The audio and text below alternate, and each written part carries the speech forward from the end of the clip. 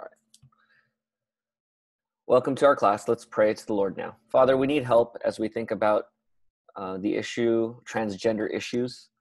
Lord, we want to think about it well. We want to think biblically. We want to think in holiness. We want to have a joyful, enthusiastic, full embrace of everything your Bible says in all of its ways, in all of the ways it applies and informs the way we live our lives today. We also want to love our neighbors to the very high degree, the way we unceasingly love ourselves. We want to love our neighbors with that same passion. We want to be compassionate and um, helpful to them.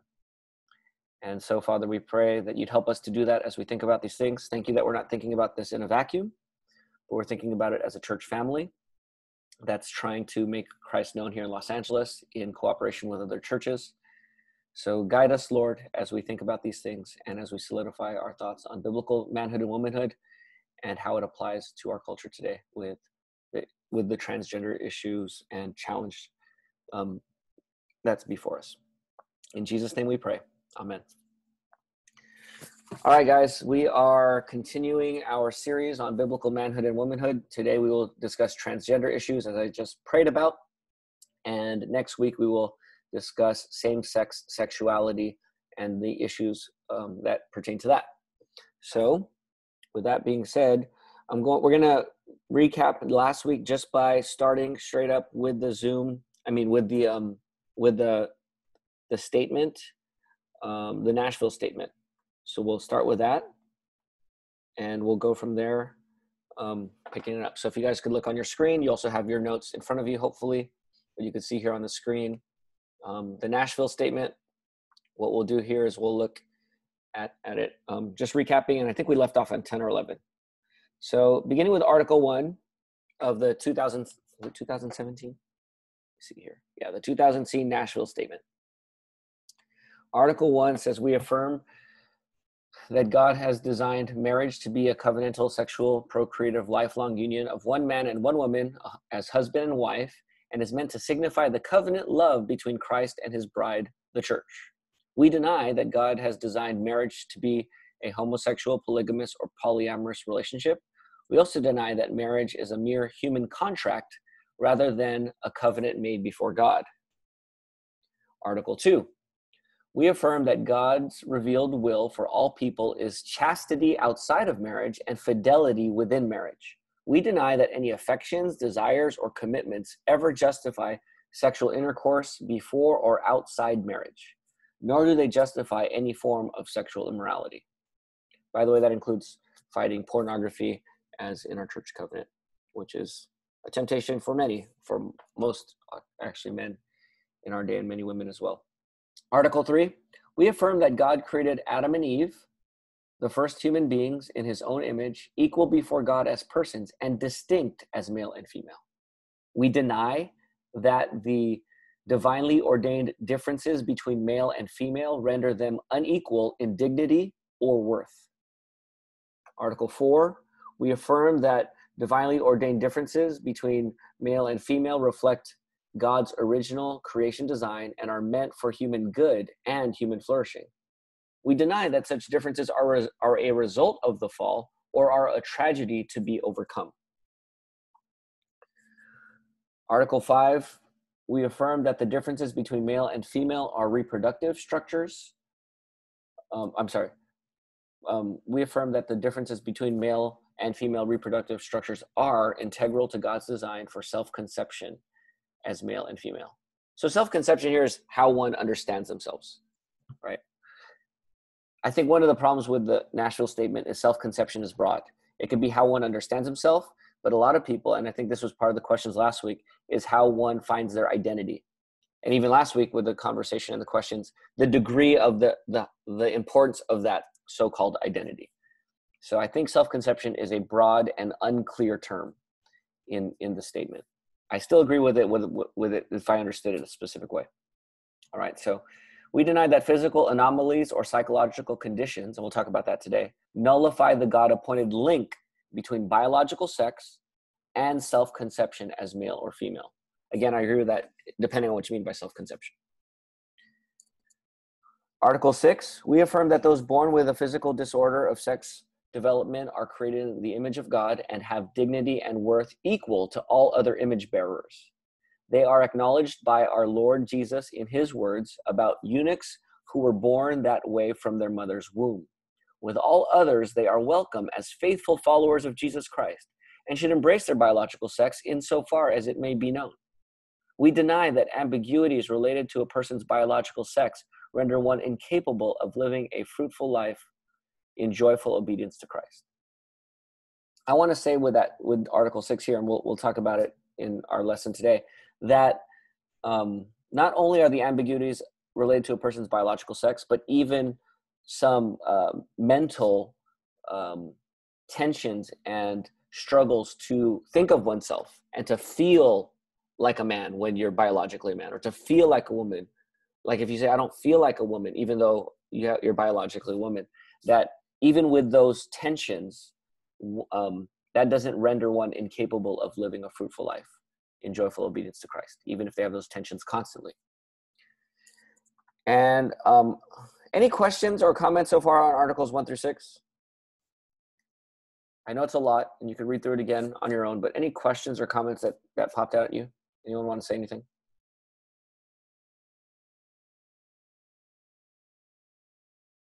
I have a comment. Okay. Um, the thing that stood out to me was the where it says eunuchs who are born that way from their mother's womb, and the born that way sit out because we've heard that used a lot. Yeah. I was just wondering, in the Bible, was that used specifically for physical deformities, or is it assumed that, or could it also be if you have same-sex attraction? I think it's referring to physical. Okay. Yeah, yeah. that's a good point though, because yeah, there's even songs born that way, right, and things like that. Where, yeah, good, good comment, question, clarification. Article seven, we affirm that self-conception. Now, here's the idea of self-conception: as male or female should be defined by God's holy purposes in creation and redemption, as revealed in Scripture. Yeah, it should be. We deny that adopting a homosexual or transgender self conception is consistent with God's holy purposes in creation and redemption. So here's where I want to pause and say if you mean by self conception that this is your, um, we talked about last week, the identity. If you if you say I am transgender, and what you mean by that is not only that you have a tension in your mind about the difference between you, your feelings or or thoughts and your your physical body but even that it's right to to just be able to define your your your maleness or femaleness apart from the bible then um then i would say that that is inconsistent with god's holy purposes and i would even say that having the gender dysphoria or gender confusion is not part of god's holy purposes in creation or redemption and we know that when we have glorified bodies we won't struggle with any inordinate desires of, of any kind Okay, so there won't be that brokenness. But in this world, if you mean by self conception that I say I have gender dysphoria, like let's just say if I said, I feel and think like I, I, think I'm a female and I feel like a female, but I know I have a man's body. And, and I acknowledge that that is part of my struggle and that's just part of who I am in this broken world. If I say that and that's my self conception, I wouldn't say that that's inconsistent with, with God's holy purposes. So again, that's where self conception gets a little bit fuzzy if you mean by self conception, I understand myself to have this brokenness, that's a self conception, but that's not wrong. If you justify that and say it's not brokenness, it is right, um, you know, you, you just scrap God's designs in creation and redemption, then that would be inconsistent in terms of Christian faithfulness. Does that make sense? So self conception can mean I understand myself to have brokenness, or I understand myself to be this way and I get to define myself and I get to push aside or compromise biblical teaching. There's a different like so self-conception is wider than what's um, it's not defined here.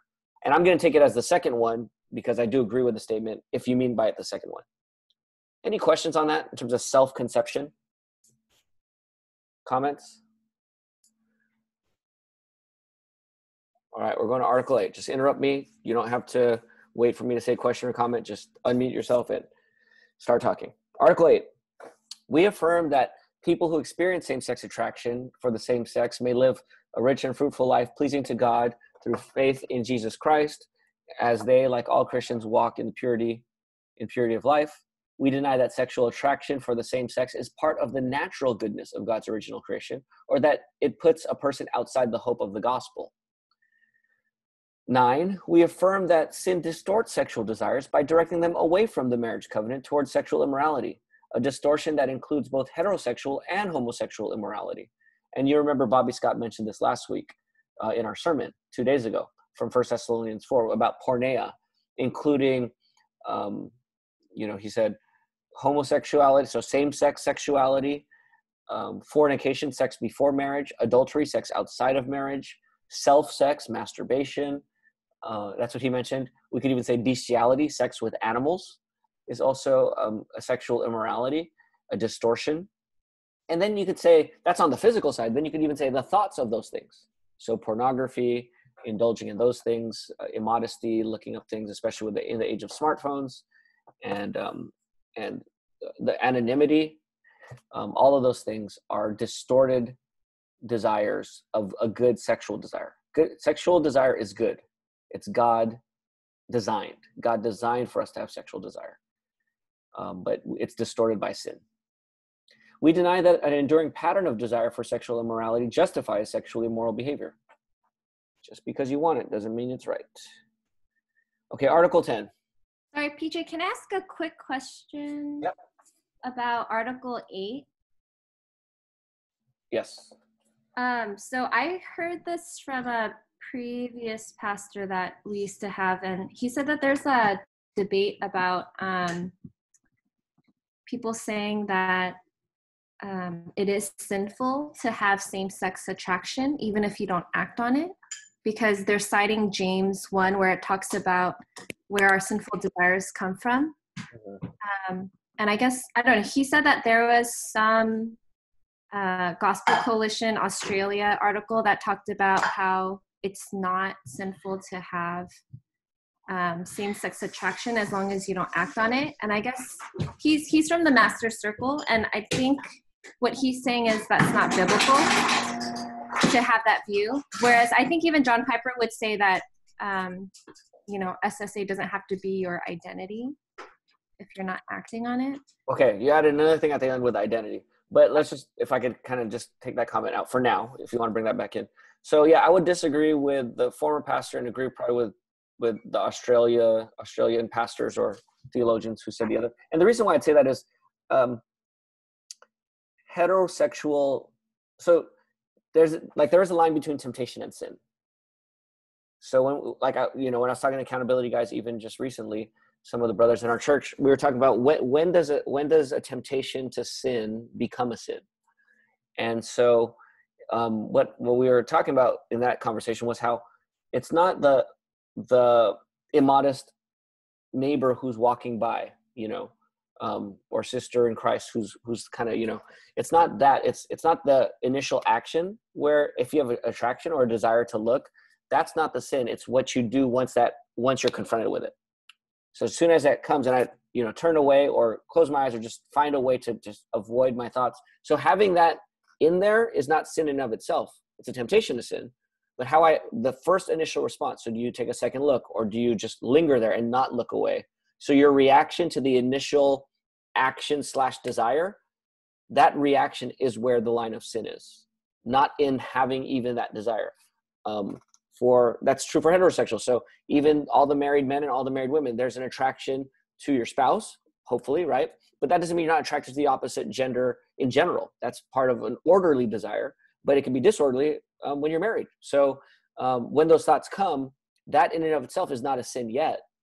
It's how you respond, and that's that could be a split second thing. It's like your initial reaction is where the line of sin would be. So if you have same-sex attraction, so that's on the heterosexual side. If you have same-sex attraction, it's what do you do with when those thoughts and when you're when you're hit with when you're met with these temptations yeah i i mean yeah i'll i'll think more about your um married unmarried example that might be a good example but yeah i i mean it was the first time i heard that argument. Which one the australia one?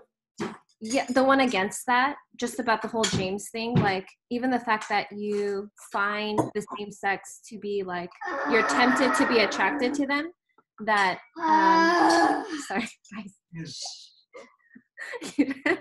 Sorry. Even I, though that you're tempted to be attracted to them is a sinful desire. Yeah, so I would call it an inordinate desire hmm or disorderly. Because like like so as a as a heterosexual man, if I find a female attractive, that's not inordinate. It's not disorderly, but it can be sinful once I act on it. So but but having it, so yeah, I would I would make a distinction between inordinate desire, disorderly, and sinful. Is the person sinning? No, but it's a disorderly desire. And so he then that disorderly desire, that inordinate desire, that that is a constant desire in his life or her life, that's going to be a, a constant temptation to whatever degree. And so they got to keep fighting it. So that would be the difference between heterosexual and homosexual. It's not so it's not a one to one because one is ordinate, one is inordinate, but it, neither of them are sinful in and of themselves. I would say until you act on it. One creates yeah, and they both create different types of sinful temptations, right? That helps. Okay. We are on Article 10. Um, we affirm that it is sinful to approve of homosexual immorality or transgenderism, and that such approval constitutes an essential departure from Christian faithfulness and witness. Now, what I want to say here is I agree with the statement, and I think it's a strong statement. So it's not just do you do it, but do you approve of it? That what we're saying is that that's a departure from christian faithfulness and christian witness on this point. And i agree with that but i think transgenderism here it's so vague it's vaguely defined again like self-conception. If if you mean by that that someone has gender dysphoria and they're fighting it um, and i approve of them saying yeah i have gender dysphoria. And if they call that transgender or transgenderism actually they don't even use ism in that way but if they if they call that if they call themselves transgender because they have gender dysphoria not that they think that it's God's orderly design or that um, that they don't have any moral obligation to resist certain temptations. But if they just call themselves transgender, I wouldn't say if they, by by that meaning that they have these inordinate desires, I wouldn't say that they are. Um, if someone, if I said I approve of people calling, I approve of people. Let me say it this way. I'll just say for myself, I approve of people who would acknowledge their gender dysphoria and say that they could still follow Jesus and I would approve of, of it being actual gender dysphoria or gender confusion. And if they called it transgenderism, I would still approve of their their conception of that. I'm not going to fight about the word, but if they mean by transgenderism that gender doesn't matter or that you could define yourself however you want and God's design is not orderly or um, obligatory or uh, there's no moral oughtness behind it, then I would disagree with them and I'd agree with the statement. Okay, so I agree with the statement as long as they mean by it um, not just gender dysphoria for someone who's trying to follow Jesus. And I think that's what they mean. I just think it's it's just um, it's not tight tightly defined enough, so it, it risks uh, confusion. On the the backside, we deny that homosexual or that the approval of homosexual immorality or transgenderism is a matter of moral indifference about which otherwise faithful Christians should agree to disagree. Yep, yes and amen to that. Again, just granted how we define transgenderism. Article 11, we affirm our duty to speak the truth in love at all times. And those two words, by the way, brothers and sisters, are so important. Truth in love. So not one or the other, but both of them.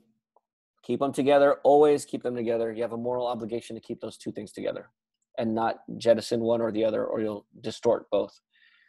So we affirm our duty to speak the truth in love at all times, including when we speak to or about one another as male or female.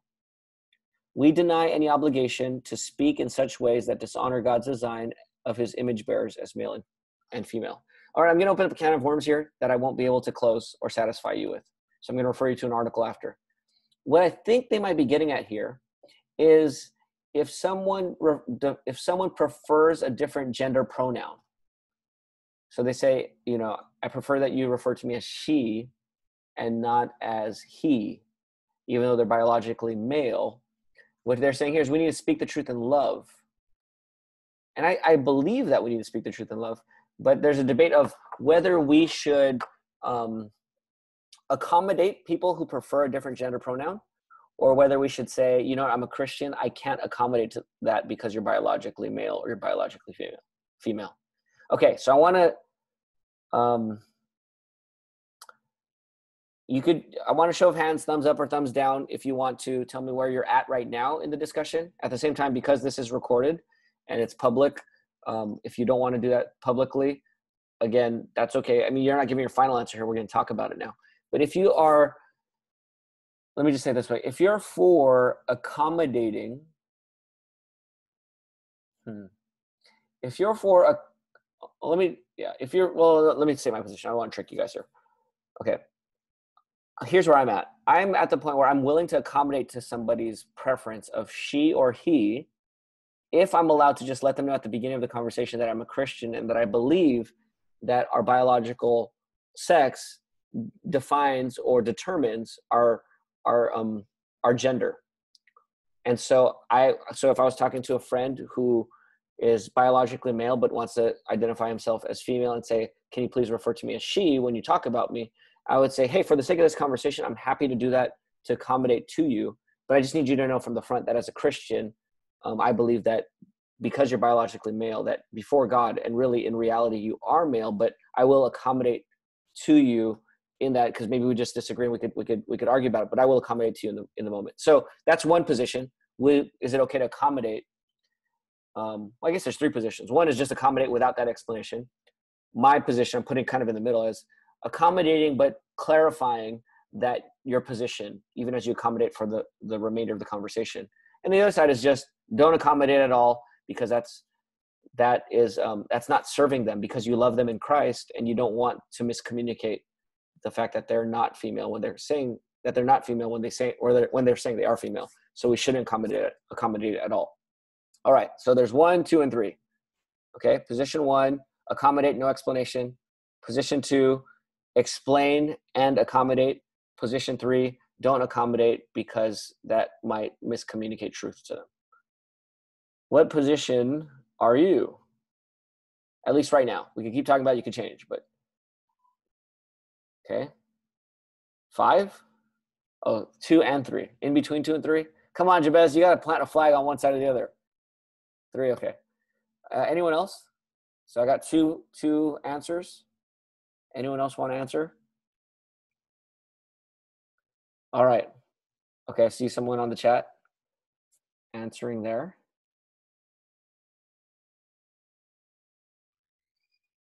All right. Someone trying to dodge the question saying it's hard. Just kidding. Um, what's for? Don't accommodate with an explanation.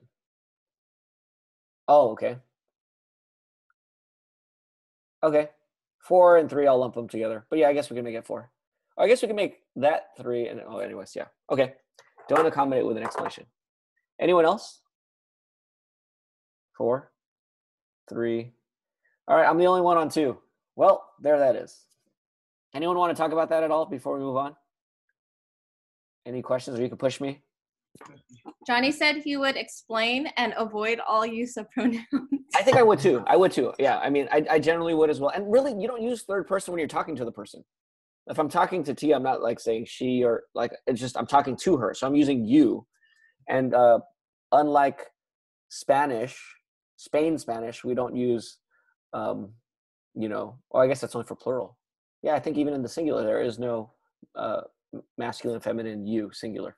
So all that to say, um, we don't use third person a lot. But I have a friend who would like, let's say in our church, even if like, let's say I was talking to Bethany and then I turn from talking to Bethany and then I start talking to Rita and Christine. And so, yeah, when I was talking to her, referring to Bethany, if Bethany was in within earshot and she heard me referring to her, her as her, I mean, there's someone, you know, in previous church where they would feel hurt and they feel like they're, they're being belittled and like, and almost being smashed, like stepped on, like someone stepping, like this is the way that this person described it like you're you're stepping on my heart and it feels like you're attacking me even though you're not even talking to me and i just overhear you talking about me. It just hurts really bad. Um, so anyways. So I, yeah I, am on position two. I think before i started this class i would have been on position three or position four. Um, but yeah three and four i'm kind of put, lumping together. I don't think you should be three without explanation. That's just mean. Um, so yeah so position three I think I would have been with most of you, but I think I'm in position two now to accommodate to them. And I think that's what we do with with um, other non Christians when we engage them.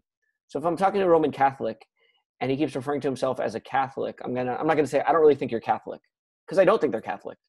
I think that they are not part of the Universal Church because they're under the Bishop of Rome. I think they're sectarian, and I think it's a false church. But like if someone's ta- calling themselves a Catholic, I'm not going to compr- I'm not going to say, you know what, I can't refer to you as a Catholic because I don't really think you're universal. I'm just gonna I could accommodate with I could be like, yeah, I don't think the church is a true church, but I could accommodate the language for the sake of this conversation. So I think the way I would have I normally do that with Catholics, I think in a similar way, I I would do I could do that and I, I would do that with someone who is identifying as a different with a different gender pronoun. All right, questions or comments, pushback?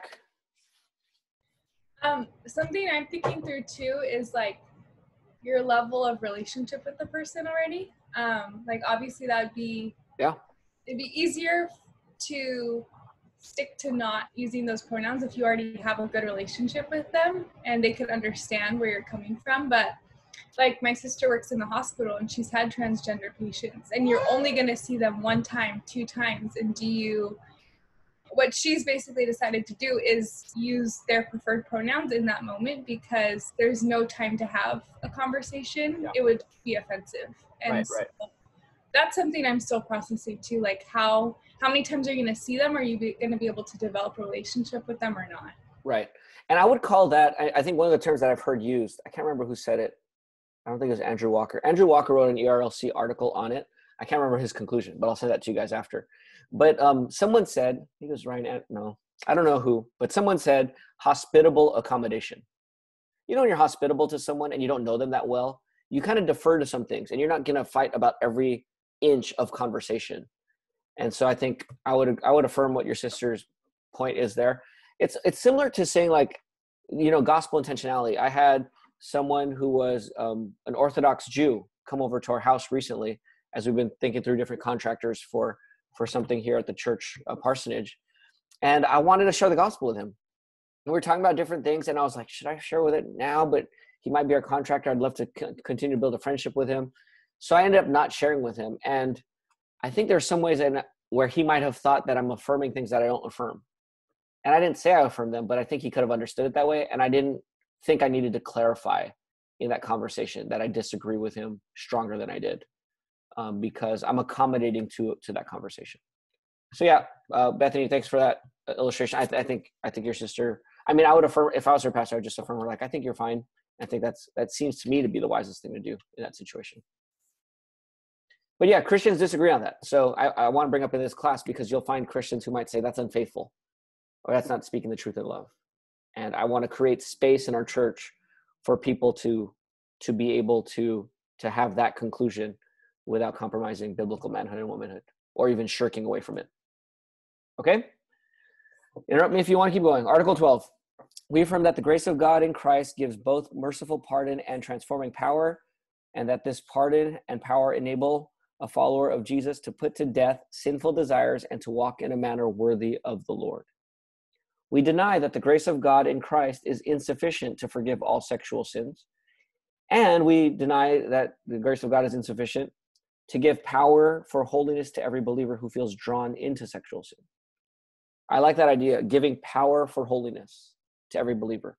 But you must not understand giving power for holiness as being able to destroy or completely eliminate the desire. It can happen, but it could also not happen. Okay? Do you guys get that? Like God is powerful to destroy a desire, but God might not destroy that desire. Does that make sense to, to you guys? Okay. Just like I would say to someone in a different sense, um, God is powerful to heal someone from cancer, but he's also he'll also he's also fully powerful to make somebody holy in the cancer without healing them. And so, in a similar way, okay, that's an analogy, not an identity. Okay, Article 13. We affirm that the grace of God enables, or the grace of God in Christ enables sinners to forsake transgender self-conceptions. And again, I mean, I think they mean by that to say that I am a different gender and that's right, and that's before God, it's fully pleasing to God. I think if you mean by that self, uh, gender dysphoria, I disagree, but I don't think that's what they mean here. Enables sinners to forsake transgender self-conceptions and by divine forbearance to accept the God-ordained link between one's biological sex and one's self-conception as male and female. I just really hate the way that self-conception is so vague in this document, but I get it. We deny that the grace of God in Christ sanctions self-conceptions that are at odds with God's revealed will. Okay. Article 14, we affirm that Christ Jesus has come into the world to save sinners and that through Christ, through Christ's death and resurrection, forgiveness of sins and eternal life are available to every person who repents of sin and trusts in Christ alone as Savior and Lord and supreme treasure. We deny that the Lord's arm is too short to save or that any sinner is beyond his reach. Amen and amen. Okay? Any comments on this? I do want to move into talking about some trans, uh, transgender um, a transgender issue and introduce su- summarize the the lectures I sent to you guys by email last week. Any questions here?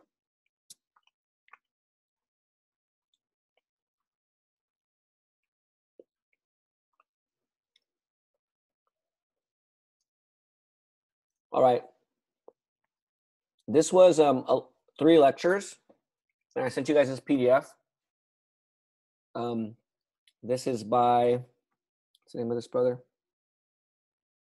Mm. I can't remember his name right now. And it's not on here.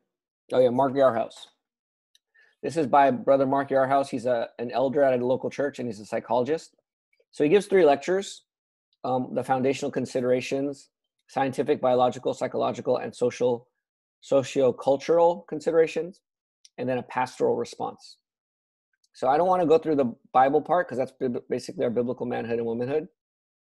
Um, you could listen to the lecture because it's really good and really helpful, but I won't take the time to go through that now. Um,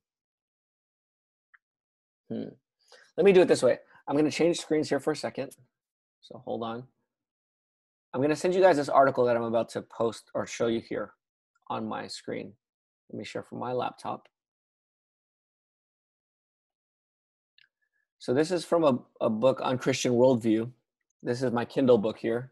And you guys see is gender choice? You guys see that there on your screen? Yes, thumbs up. Yeah, okay, good. So here, um, here you'll see is gender choice. Um, but I want to I want to show you something here. So biological here here um, the biological components of sex resolve into four facets. Okay, so think about these four things because I'm gonna we're gonna show seven different seven different categories and where the confusion can happen. So defining sex, sex, um, sex and gender. Chromosomes with the prototypical male having one X and one Y chromosome, and the female having two X chromosomes. Okay, so there's the DNA. Then gonads and the hormones that that they produce, with males having testes and females ovaries. Okay, so there's a physical part. Third, sexual anatomy with male external structures, including the penis and scrotum, and internal structures, including, I don't know how to say that, vas deferens and prostate, while females externally have a clitoris and labia and internal structures, including the vagina, uterus, and fallopian tubes. Okay, so two and three are talking about, well, one's talking, so DNA, hormones, and now sexual uh, physical appearance and uh, physical organs. And then four, um, secondary sex characteristics, including for males, denser, coarser body hair, body and facial hair, larger stature, and greater muscular mass, while females manifest in large breasts, wider hips, less body hair, and less muscle mass. Okay? So those are all physical things. You guys following so far? Yes? DNA, hormones, physical appearance, and then secondary uh, physical characteristics. Now, then there's the psychological, cultural complements of gender resolve into at least three separate facets. Okay, so you got those four, and then you got these three. Gender identity. So it's the subjective sense of being a man or a woman. Do you feel like a man or a woman? So there's the gender, the subjective sense. What do you feel like? Then there's sexual orientation with the prototypical male experiencing only erotic attraction to females and females to males. So sexual orientation. Uh, where where are your sexual desires seek, seeking to be completed? Okay? And then third so one is your your feeling. The second one is your sexual desires. And the third here is your gender role. The person's adoption of cultural expectations for maleness masculinity or femaleness femininity. And this is what we've been talking about. That number three is really what we've been really working on in our biblical manhood and womanhood class because we've been assuming all the others, right? We've assumed one through four on the body, and we've assumed one and two here on the psychological. And so our whole class, before we start talking about this topic, was really number three. How do you think biblically, how do we define number three biblically and live that out? So we talked about what is mature masculinity and what is mature femininity, not only culturally, but even biblically informing our current culture. All right. So let me just read on in um, Stanton Jones' article here. Given the complexity of the seven factors in their development, it is remarkable that so many adults align consistently on all seven factors, thus experiencing somewhat an uncomplicated, a somewhat uncomplicated sense of being a man or a woman. But some individuals, now here's where we need compassion and biblical Christian ministry, okay?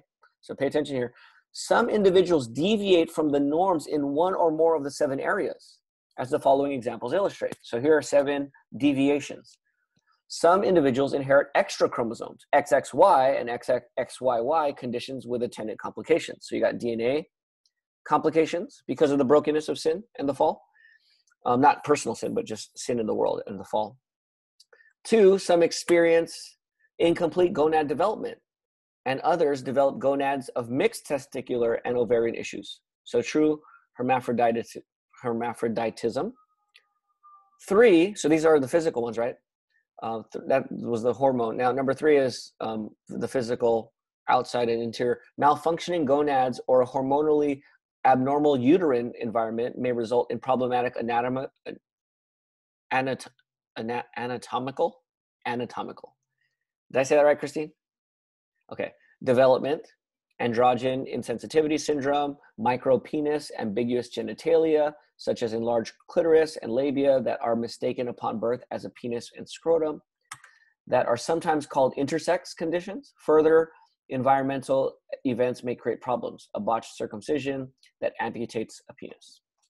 Okay, those are all physical things. Number four, hormonal problems can result in minimized or exaggerated secondary sex characteristics. Remember, we were talking about a broader stature, bigger muscles, smaller, slender, those types of things. Okay, those are all on the physical side. Now, five, six, and seven, remember, are the psychological aspects. Certain individuals report emphatic gender identification in contrast with their biological sex.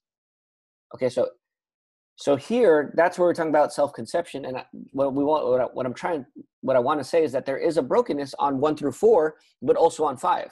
You could have one through four okay, but you could have an emphatic, an emphatic gender dysphoria or confusion or a strong subjective sense that you're not what your body tells you you are, or what your body, body shows that you shows you that you are. That's number five. Number six, three to five percent of the population report consistent, stable erotic attraction orientation toward persons of the same sex or to both sexes in varying degrees. Others report stable attractions in the other directions, in other directions like pedophiles. That was brought up in an example last week. So again, that would be a distortion or what we were calling earlier an inordinate desire there, but that can, some people have consistent erotic attraction in those inordinate directions. And then number seven, some individuals are drawn to gender atypical roles. Further, cultures vary widely in their prescribed gender roles, including their clarity and rigidity. So girls play with dolls and like pink, and boys like blue and like to wrestle. Like those are some cultural things that different cultures have different i just gave you some cultural things there but different cultures have different things and that varies widely and some people align on all six but then they like to um, do things that in their culture are more boyish even though they're a girl or vice versa.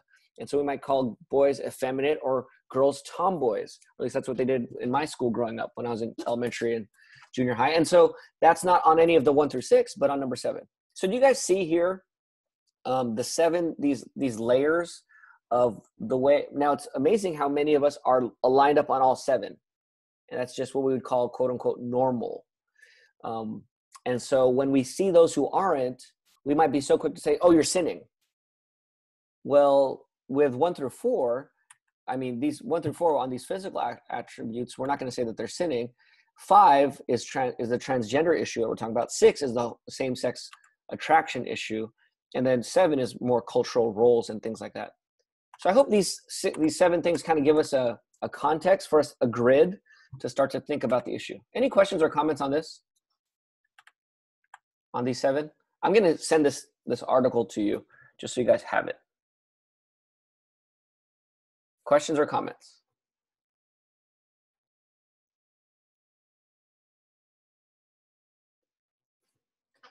All right, I am going back to this this other thing because I, I, do want to talk about ministry on how and how to um how to think about these things at least to get our, our church family to to um to minister more faithfully as Christians.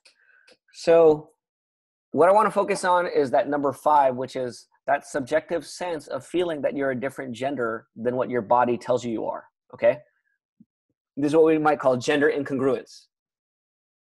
So in gender incongruence, there are three, these three blocks are different aspects to a person's life. Okay. So gender incongruence, that top one is just like what, what people think gender is, what it's defined as. On the, the transgender community, you see there on the bottom left, that's a community that's going to take someone who has gender dysphoria and say, oh, you're transgender. That's why. Come with us, right? We love you. We accept you. And sadly, a lot of people on the local faith church community side are going to see someone with gender dysphoria and say, What? You're sinning. Why would you think that? Stop thinking that. You're not accepted in our church if you feel that way. You need God's grace, and God's grace can change you. And if God's grace doesn't change you and you still feel like you're the opposite gender than you are, then you're not a Christian or you're not repenting.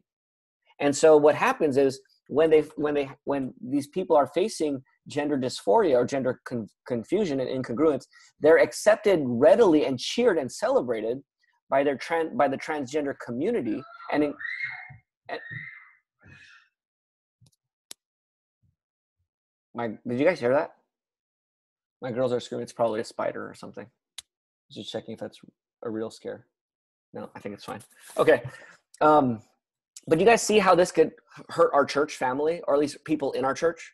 Like if someone feels that gender incongruence and if we're just going to say that you know that you're we're gonna we're, we're gonna reject them outright for feeling that or or or struggling so long and not making quote any quote unquote progress in their subjective sense. While while they're being celebrated by the other side then um, it's no it's no um, mystery why so many people reject the church or leave the church. When they really want to follow jesus perhaps and they're just they just need a church family to really rally around them and understand them and minister to them and walk with them for as long as it takes for them to fight sin, which might be the rest of their lives, as we're all fighting sin for the rest of our lives, right? So, um, so yeah, so those are those are the dynamics here. Um, we don't know quite what causes gender incongruence. Just like when we looked through that list of seven, there can be a lot of different things that cause it. And if you just say, well, it's sin, well, I mean, sin in general, there's a brokenness to this world, yes. But if you say, oh, because the person is sinning, that might not be the case. You know i think what how they respond to it that's where we want to hold people accountable to all of us in all the way we respond how any of us respond to sinful temptation that's where we need to hold each other accountable and walk with each other and help each other. But to have the temptation or to have the confusion is not in and of itself a sin. And if we assume oh it's because you're sinning then we're not going to be able to love them in the truth because we're assuming something that's that that might not be accurate. Um he um, Mark Yarhouse encourages us to take a lifespan developmental perspective. So what he means is like if you meet if I meet someone in their 40s who has uh, gender dysphoria or feeling gender incongruence, what I should do as a pastor, what Mark Yarhouse is recommending is, PJ, if you're a pastor, in his lecture he says you should sit down with a person. This is what he does. He'll sit down with them and say, "Hey, it's great to meet you. It's a privilege to meet you. I'm pro- I feel like I'm coming in on like chapter five of your life. Can you take me through chapters one through four and just help me to to understand your story and how you are and who you are and you know the just how you've developed and where, where you've come from and what brought you to where you are today. And he was saying that he's a, he says i guarantee most transgender people or people struggling with gender dysphoria haven't had a pastor sit down with them and just say hey tell me your story. I'd love to just hear it and, and, and like and think with you and, and understand you better in light of it so um, he just talks about how most people estimate 75% who um, have gender dysphoria, it's resolved by adulthood. So you just kind of you know like sometimes parents overreact, and they'll say like, oh, you know, you know you can't be transgender um, or you, you're not a you're, you're a boy you're a boy. And so they might force something on their kids in a way that you know 75% of the time they're going to be fine. Just like you know just keep loving them and, and, and bringing them through. But there's that issue. Okay you guys can listen to the lecture because there's way more here and we're like overtime almost. Um let's see. What does my gender experience of gender dysphoria mean to me? They're going to need biblical truth. They're going to need the church family to um, celebrate their humanity that they are made in god's image that they're loved and that they're made in, and that if they're christian that they love jesus christ. They're, they're going to need us to celebrate them in who they are while at the same time understanding their struggle and fighting sin in their life as we fight sin in our own life and invite them to help us fight sin in ours. Uh, he talks about different purposes of cross-dressing. Some are sinful i mean you know there's just different things here expression management. You guys can listen to that. It's really helpful. I just want to let me um let me go to his main point. Sorry i got to scroll through all this. Okay so there's he has three perspectives here three three frameworks. The integrity framework is what you've been taught from the bible that we are one person. So all seven of those things line up right? Your bi- your biology your dna your hormones your secondary characteristics your uh, subjective sense of identity your sexual attraction and the secondary um, or the cultural expressions all of that lines up for most of us and so we say that they should all be united in integrity. And we should, and they should be, actually. That's our argument with biblical manhood and womanhood. So that's a Christian teaching, and we should keep teaching that and not compromise on that. Yet, we should understand the disability side of it. This is someone who identifies sexual identity issues and gender dysphoria as a reflection of normal variation in nature. For Christians, it is at times likened to a disability, a non a non moral reality to be addressed with compassion. So if someone has a disability, you don't um you don't just i'm not ignoring the moral implications of temptation like we talked about earlier but when someone has a struggle or disability you don't write them off right away um, like if i had a broken arm or if someone has cancer and they're dying of cancer you don't just say like like this is what the prosperity health wealth and uh, you know that's what they'll say is like you don't have enough faith that's why you're dying so that's what they would say to someone who's dying of cancer your problem is you don't have enough faith in jesus if you did you'd be healed and the way we would look at that and say, like, don't say that to people. That's so unhelpful. That's sinful. That's just wrong to say that to people, right? That's what we would say. Um, if it's just a lack of faith, that's why you're not being healed, healed of cancer. But a lot of times with gender dysphoria or same sex attraction, we do a similar thing and write it off as if it's just that they don't have enough faith in Jesus. Or that, and, and not see that it could actually be some brokenness that's not just a mere lack of exercising faith. Sorry, my wife is calling me. But um, okay, yeah. So so that's. Oh, I lost my screen share here. Give me a sec. You guys can interrupt me with a question while I get the share share back up. Hmm. Okay, wait, Jabez, you're wait, hold on, Jabez. Uh, so the diversity one, hmm. let me go back here. Uh, strong forms of deconstruction. Now this is where the culture goes, and they'll say let's deconstruct sex gender as oppressive um, so uh, that's a strong form like and that's where you see the lgbt movement going right let's sell so let's reject integrity it's not a disability it's not brokenness it's diversity so let's deconstruct the way that culture thinks about gender and we are not doing that that's what our whole biblical manhood womanhood class is about is to not deconstruct that but the weak form of diversity is it highlights sexual identity and gender identity issues as reflecting an identity and culture to be celebrated as an expression of diversity. So maybe not deconstruct everything as oppressive, but let's celebrate it. Okay?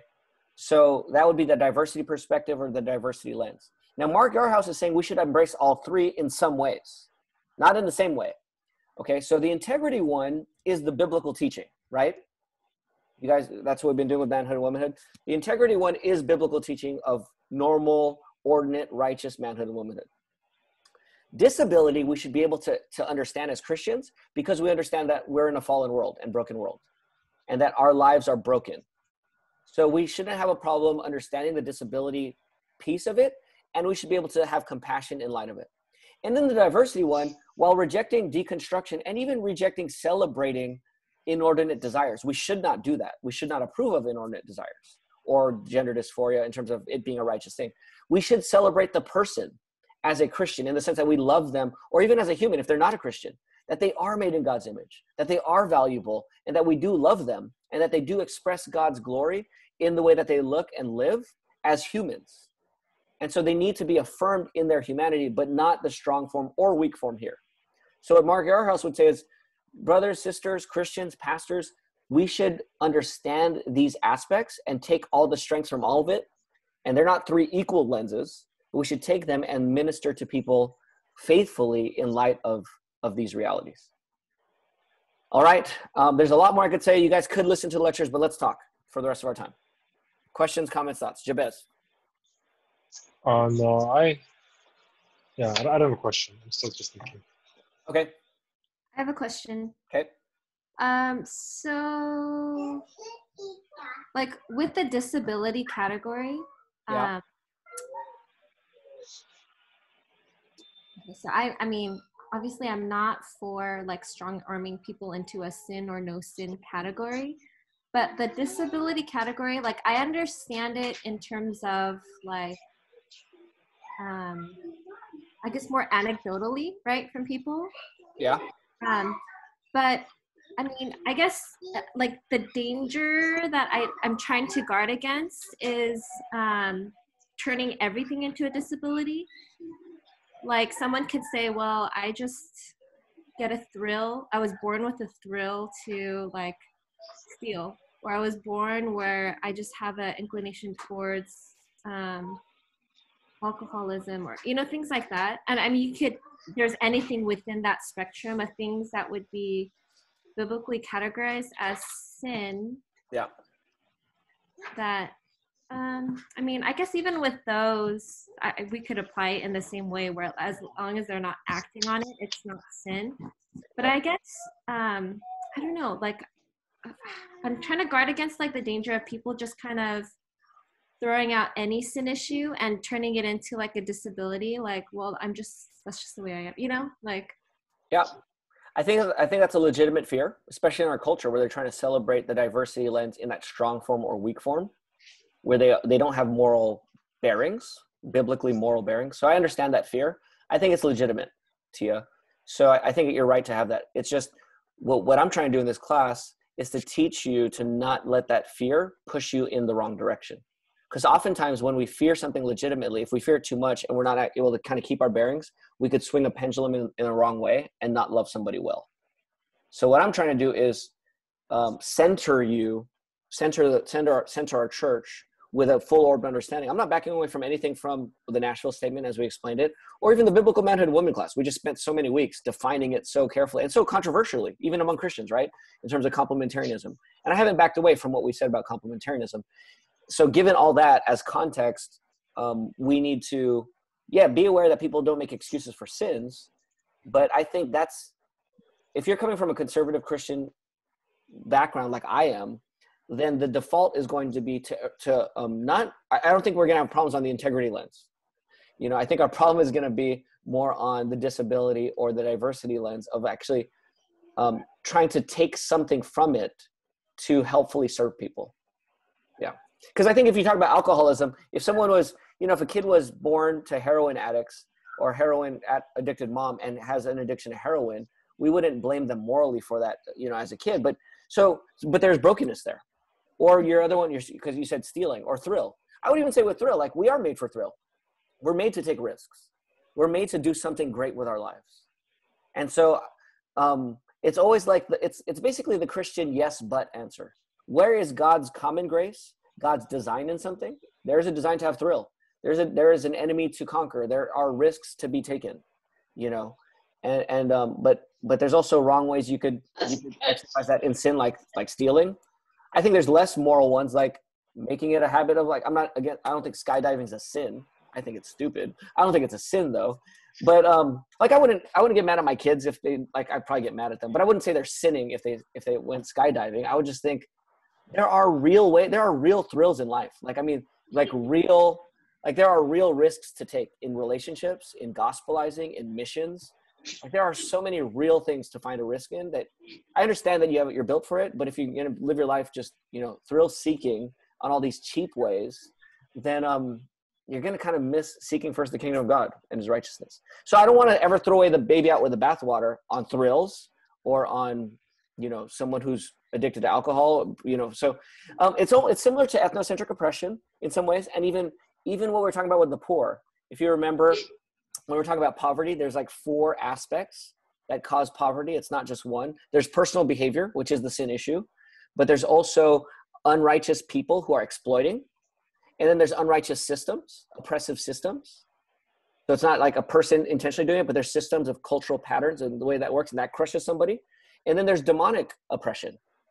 So those four things are always in play in the with the poor, or with uh, um, you know when we're talking about ethnocentric oppression towards African Americans, for example. It's not just so conservatives like to like to emphasize personal behavior. Liberals like to like to emphasize oppressive systems. But if you're a Christian, you can't get caught up in partisan or you know political talking points at the end of the day you need to go to the bible first before you engage in these issues and so um, i would say the same thing here um, with this tia it's like yes let's not compromise on the moral behavior let's not use disability as an excuse for sin but let's define sin accurately and i think when you've been taught from that one pastor that having the desire in and of itself is automatically sin all the time i think that's an oversimplification i think that's actually not reading the situation right to love people correctly mm-hmm. So would you say that pretty much any sin could be in the disability category? Any sin? I would say that any sin we I, I would say this it depends what you mean by disability. So let me let me broaden disability first. No, if you're talking about like biological disability. Okay. But if you mean by disability like things outside themselves, things outside of the person. Like is a sin only someone's personal behavior? I would say almost never. But it, but we still hold them responsible for their personal behavior. But um, there's a brokenness in the world. Like I am, I have a sin nature because Adam ate the fruit. Right? I didn't eat the fruit in the Garden of Eden, but I was born with a sin nature, and I'm responsible for how I act given my sin nature. I can't use my sin nature as an excuse. At the same time, I can't act like I don't have a sin nature. If I'm going to rebuke one of our church members, I can't act like they don't have a sin nature affected by Adam. That's something outside of themselves that they were born into. That doesn't take away any personal responsibility or accountability. But so that that'll just be a general thing. In that sense, there's a there's an outside disability, you could say, or there's an outside force that's pressing on them. That's not an excuse to sin, where there's personal responsibility, but don't confuse the two and act as if there is no outside forces uh, given. You know, there's so there's the world, the flesh, and the devil, right? Just to use the, the three common ones. But then you still make so if someone's sinning, I'm not going to discount those three um, as real effects on the situation. And if you want to call that disability, I mean, I could call that a disadvantage if you like, or just um, environmental pressure, you could say. That's outside of them, outside of their personal responsibility. Mm-hmm. And I think we have to factor that in when we um, when we engage people on this issue and on other issues too.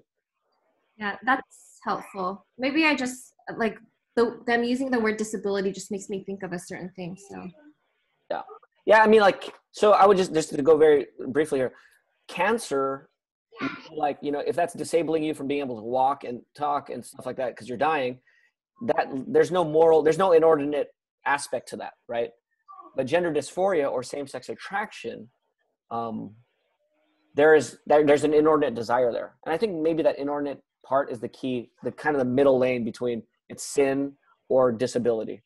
That inordinate desire there being something. So if i see someone with an inordinate desire or inordinate subjective sense of their gender i'm not going to i'm going to ask a lot more questions before i just say you know how dare you have that desire you should never show your face in our church or something like that which is what sometimes um, other other churches have done have you guys seen the dear church video that i sent to you guys yesterday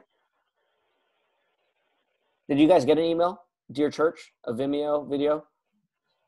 Okay, I encourage you guys to watch that video. I there's only one sentence in that whole video, 20 minutes, that I disagree with. But other than that, it really is getting conservative churches to just think about what the way that they approach this question.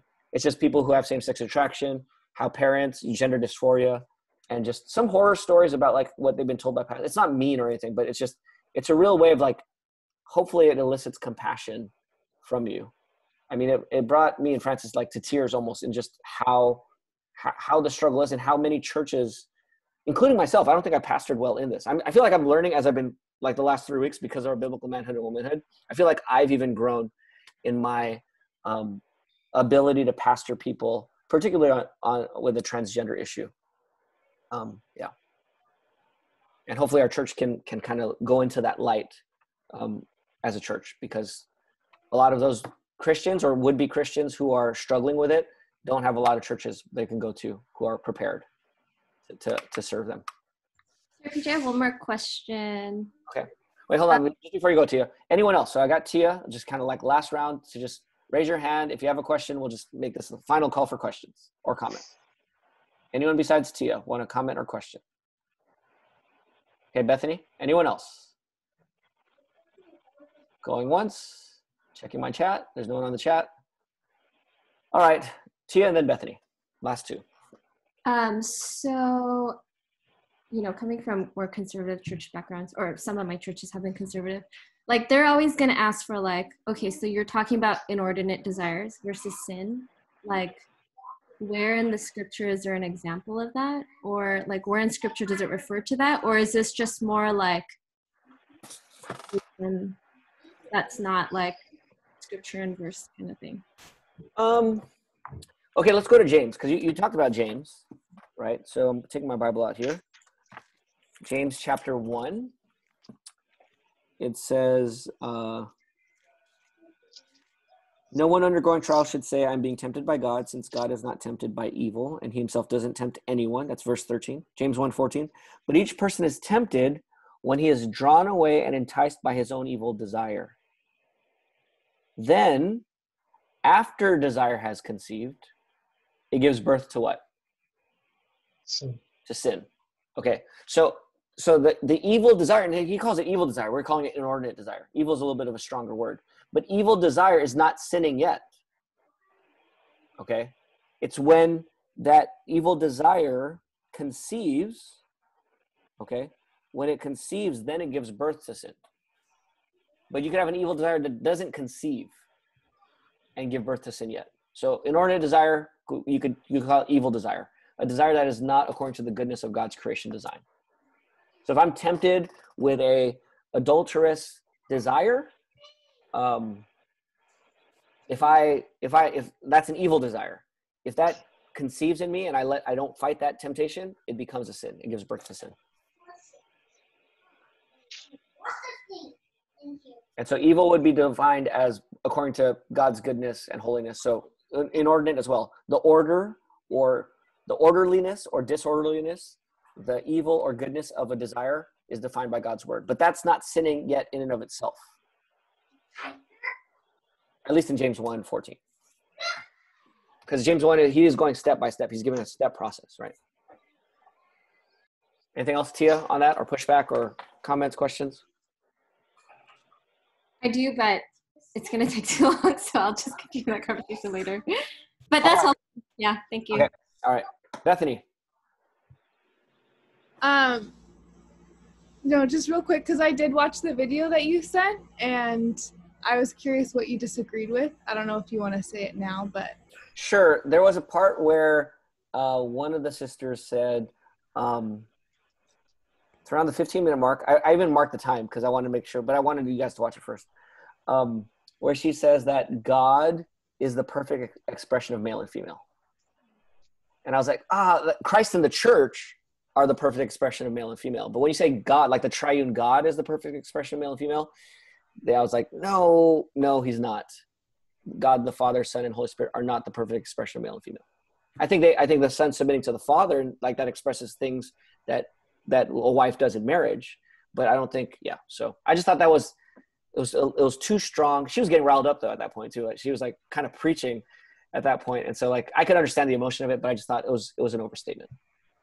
Yeah, but I encourage you guys to watch that video. Um, I'm gonna I don't know if I should post a link here, but yeah, check the email. If you don't have that email, maybe read it. I'm not sure if you're on the the church the it's not the church email, it's the BBC Manhood Womanhood class email. So I'm not sure if you're on it because there's those who are in the class from the beginning but if you guys want, I'll, I'll probably, I guess I'll send to the whole church. I don't know. I actually know. Hmm. I don't want to send to the whole church because they haven't had this conversation that we're having. And so I just don't know if they're going to get it right away. So my mom is saying absolutely not. Mom, did you watch the video? Uh, If you could send it to me, I don't have it. Okay, you didn't. Okay, well, you guys watch the video. Mom, watch the video first. Jabez, tell me if you think I should send it to the whole church or not. I think it's a helpful video, but um, watch it first. Bethany, do you think I should send it to the whole church? Um, I don't know. I think it could be okay. I well, I don't know. I've been in the class, so I don't know where I would have been beforehand. But You should try it on Chris. okay, Try it on Chris. Tell me what he thinks. Um, because he has. Someone email it to me. Yeah, I'll email it to the. I'll email to you and Rita. Um, yeah, so I'll email to you. I think even though if I haven't watched it, I think sending it would be fine just as long as you give like a preface of like this is what we've been talking about in biblical manhood and kind of just giving like a quick snippet of like why you are sending it. Yeah, yeah, that's helpful. You I just said if you have time to answer a bunch of questions after. Okay, I'm gonna. Let, should I? Can I stop recording though? Okay, I'm gonna stop recording because there's um one other thing I want to say, but I don't want to record either. Let me pray, and then I'll stop recording. And then if you guys got to go, you got to go. Father, thank you for this class. Thank you for letting us at least start to breach the topic of um, transgender issues. Lord, we want to love our neighbors, all of our neighbors, even those who have gender dysphoria, and those who are confused, and those who feel like they're not affirmed as humans. Uh, we want to love our neighbors well. We want to speak the truth in love. We don't want to just love in a non, in an unbiblical, undefined, crossless, Christless way. But we want to love well. So God, guide us. We need your wisdom to do this. Statements by themselves don't love the persons around us. So make us a church that does that more and more. And bless this class as we think about these things. In Jesus' name, amen. Amen.